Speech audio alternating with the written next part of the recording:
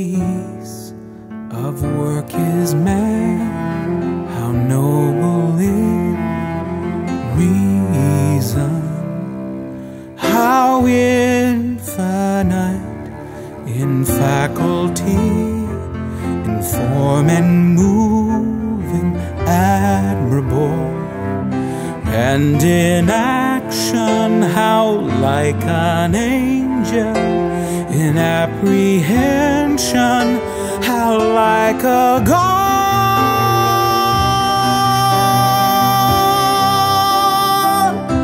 amid the beauty of the world and all the paragon of animals.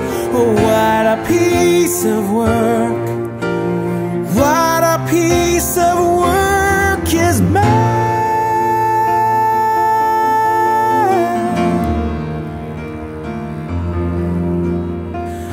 And in action, how like an angel in apprehension, how like a god.